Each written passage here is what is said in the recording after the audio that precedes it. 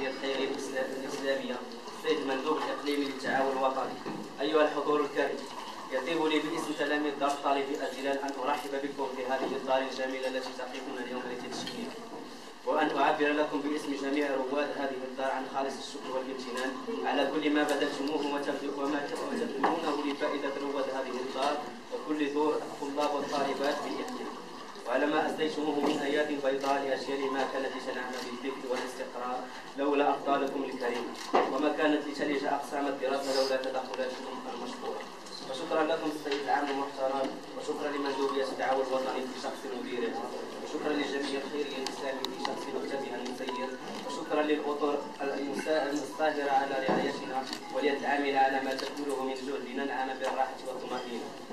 لكل من له الفضل علينا وخاصة مجلس الجهة والمجلس الإقليمي لكل المؤسس وكل المؤسسات التي تساهم من قريب أو بعيد في هذا العمل الاجتماعي الخيري.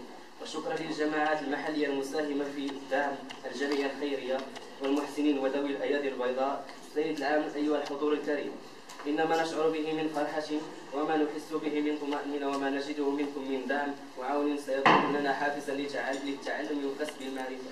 وسيكون لكم بإذن الله تعالى أجرا وشوابا وفضلا كبيرا. أدامكم الله عونا وسندا لكل من يحتاج العون ووفقكم الله ووفقكم لما, لما يحبه ويرضى.